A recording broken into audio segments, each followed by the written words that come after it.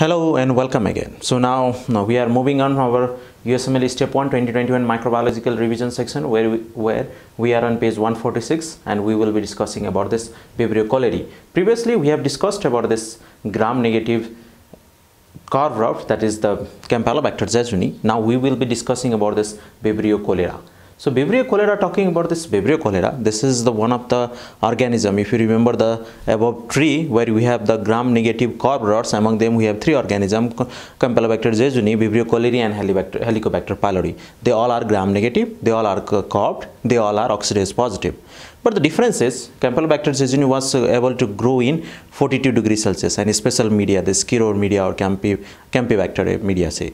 But when it comes to the Vibrio they have the special characteristics of growing in alkaline environment. So they can resist high pH, they can survive in the high pH and this makes them unique. They also are responsible for cholera which can leads to a acute watery diarrhea. That's the water loss is so much that from a single day, in a single day, even 20 liter of your water can be lost. So this infection is very severe. In the past, when we have not developed this uh, isotonic normal saline, the people used to die because we don't have anything to give intravenous. So this since we cannot give water normal tap water it will swells your rbc and rust and you will die. You cannot give salty water because it will shrink and again there will be the hemolysis and death. So we cannot give the normal tap water or say a salty water inside your body. We need an isotonic solution and we have made very later. Before that any acute water diarrhea especially this cholera people used to die. So it was a very concern in the previous days. Even nowadays, if you are in the remote places where we have a lack of health facilities, in that places, if cholera outbreak occurs, then lots of people in the village died. Even in the certain hilly region of Nepal, we heard about this cholera outbreak and there are the death of the people as well in present 21st century as well.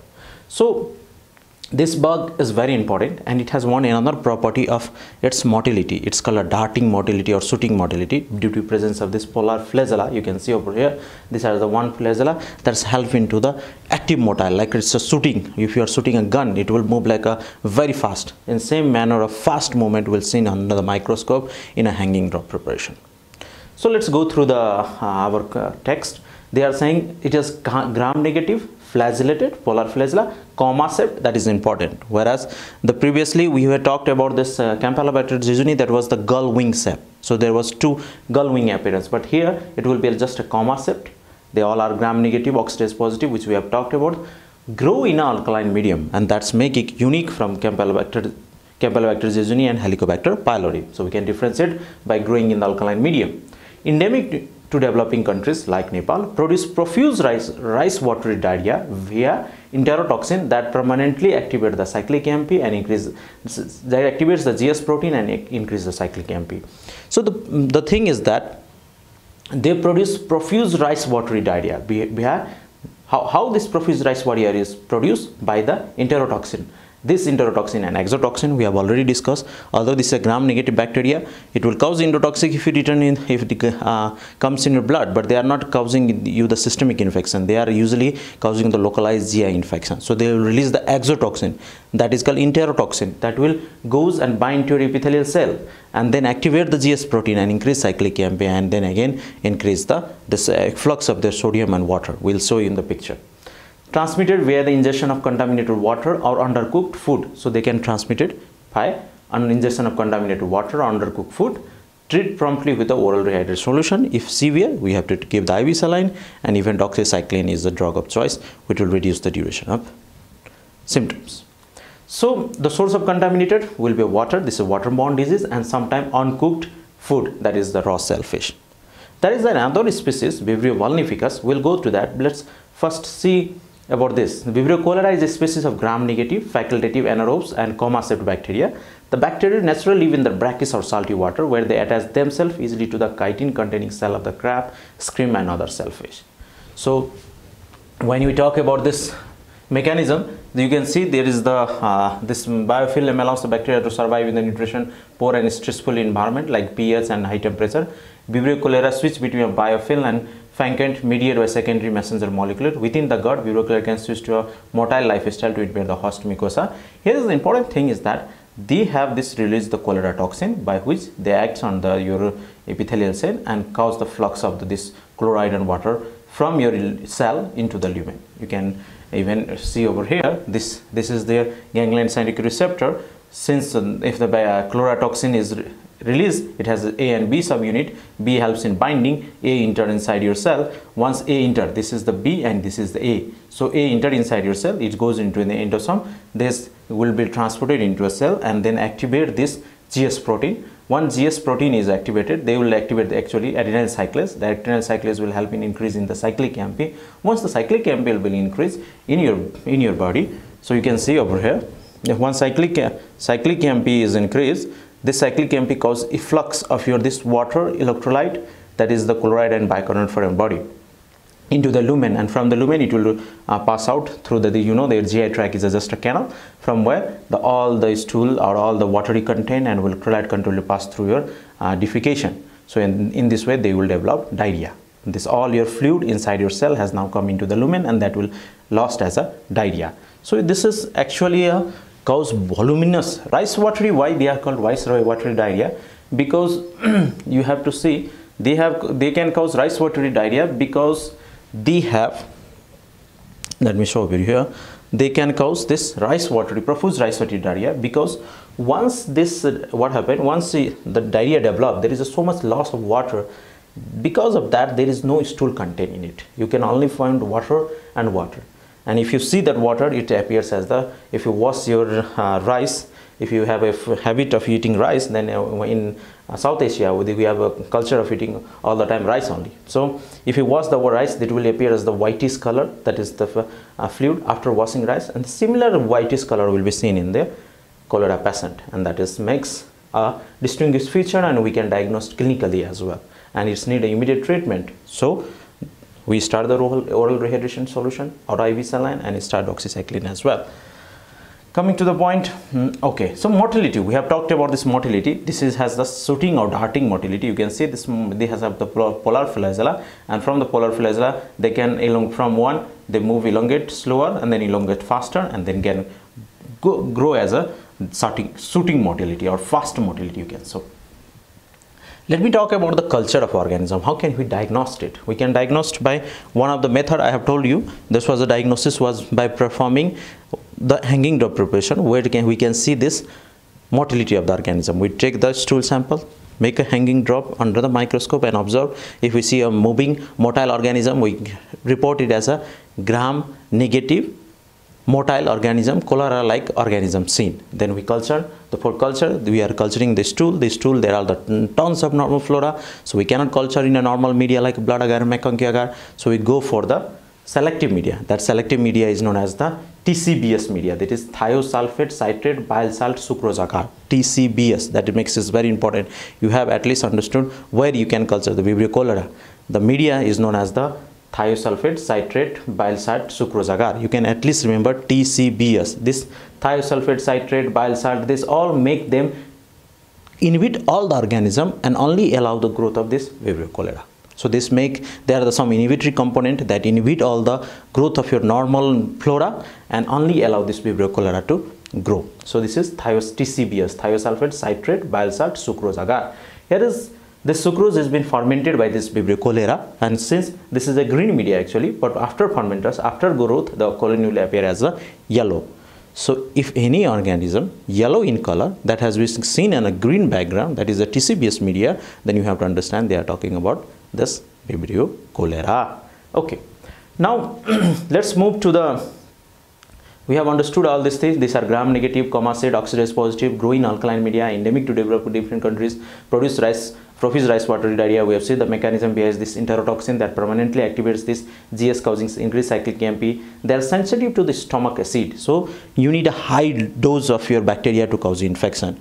Even they can come in a low dose when you have a decreased gas, you have increased gastric pH. So gastric pH has been damaged. Suppose you are taking proton pump inhibitor or any antacids that increase the pH so once pH is increased, what happen? Now your alkaline goes to the neutral environment and the bacteria low dose can pass that environment and goes to your intestine and cause you infection. Normally the pH is around 2.5, 1.5 to 2.5, which all this vibrio cholera get killed there will be the, if there are the high loads only then they pass your stomach acid and then goes during alkaline environment of your intestine that is duodenum or jejunum. So before going that they can die. So they require the high load dose that you have to understand. So require high inoculum unless they has increased decreased gastric acidity due to this proton inhibitor or antacid transmission via contaminated water or undercooked food treat promptly with oral rehydration solution. There is another another bacteria of a same species known as the Vibrio vulnificus that is the gram negative bacilli usually find in the marine environment. That's make that's make it important. What is marine environment? This is actually salty water environment or you can say uh, sea environment. That cause severe wound infection or septicemia due to exposure to this contaminated seawater. So a person who is uh, has worked with the seawater they are occupational work or say continuously exposed with the seawater they might get this infection. So if they are giving a scenario about the patient who is working continuously in the seawater and have developed infection in any site so they will develop cellulitis and eventually septicemia and may even progress to death. So presence of cellulitis that can progress to necrotizing fasciitis in a high risk patient especially those with the liver disease serious serious wound infection required surgical debridement. So unlike a vibrio cholera which causes the local infection that causes gastroenteritis and loss of your water acute watery diarrhea water and electrolyte in your stool. The Vibrio vulnificus are the organism that are also the Vibrio species, but they are responsible mainly for your wound infection, cellulitis, and even septicemia, even leading to necrotizing fasciitis in liver cirrhosis patient. So the if you are they are talking about the Vibrio vulnificus, they will tell you about the salty water, they will tell you about the liver cirrhosis, they will tell you about this cellulitis and necrotizing fasciitis, and now you have to identify the bacteria or now you have to understand the scenario. Serious wound infection requires surgical debridement. Let me take you once more to this uh, final one, the Kaplan microbiology, where we are talking about this Vibrio cholera. They are the gram-negative rods with the polar flora, oxidase positive. They grow on the alkaline environment, but not on the acidic media. They, they cannot grow on the acidic media. They grow in the thiosulfate, citrate, bile salt, sucrose, agar so this is very important. This is the selective media. That selective media are the media where we inhibit the other organism and allow the required organism to grow. So this is the selective media. The species of medical importance are Vibrio cholerae, Vibrio parahemolyticus and Vibrio vulnificus. In Vibrio cholera, with distinct fisheries, rice watery diarrhea grow on the TCBS agar. So that's make it very important. Okay, so you have to understand we are talking about this rice watery diarrhea that helps in grow them. The Vinaiguli patient will have non-inflammatory diarrhea because it is toxin mediated. Rice watery stool, dehydration from cholera, travel to endemic area. These are gram-negative, polar flagella, oxidase positive organism that grow in the alkaline environment. This will be the enough for you to understand or to say about anything about making the vinac. The all point is over here. The, the reservoir is the human colon, no vertebrate animal carriers is required. Okay, Human caries may persist after untreated infection for months after infection. Permanent carrier state is very rare. The transmission is oropharynx. We understand that sensitive to the stomach acid. So the patient who are taking proton pump inhibitors, so pantoprazole or antacid, that have the more chance to get this infection. Requires high dose that 10 to power 7 organism if stomach acid is normal. Pathogenesis, we know they have mortality.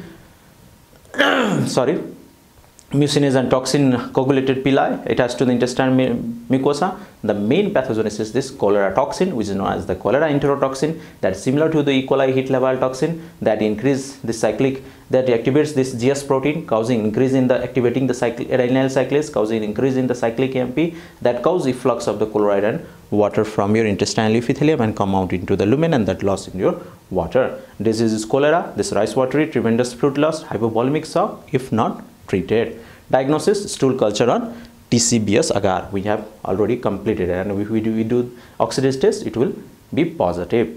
Treatment will be fluid and electrolyte replacement and doxycycline or ciprofloxacin to shorten the disease and reduce carriers. Resistance of tetracycline have been reported, but this is not much important over here. Prevention is proper sanitation and new vaccine. If you are going to give any antibiotic, that will be a doxycycline. At present, you have to thank. Other Vibrio species are Vibrio parahemolyticus and Vibrio vulnificus. We have one Vibrio parahemolyticus. Again, reservoir is the marine life consumption of undercooked or raw seafood. So it is related to the seafood that cause again gastroenteritis, watery diarrhea and crampy abdominal pain. That treatment is self-limiting. we have talked about this Vibrio vulnificus in uh, your USM step 1 well they are usually related to the brackish water or oyster consumption of undercooked food or raw seafood lead to the gastroenteritis same as above they also can cause swimming in the brackish water or sucking oyster leads to the cellulitis that is rapidly spreading difficult to treat and the drug of choice will be tetracycline or third generation cephalosporin. So Vibrio, para, Vibrio cholera, gastroenteritis, Vibrio parahemolyticus, gastroenteritis, Vibrio vulnificus, it will lead to gastroenteritis if it if you eat this consumption undercooked or raw seafood but if you are swimming in the salty water and you develop the infection you develop the cellulitis then that leads to your necrotizing fasciitis especially in the liver cirrhosis patient. So that all about this Vibrio cholera. Just you have to remember they are the gram negative comma shaped oxidase positive motile organism. They can grow in the alkaline environment. If you culture you can culture in TCBS agar they have this cholera enterotoxin that caused us the cholera and that caused the rice watery diarrhea profuse amount of water loss from your body. Thank you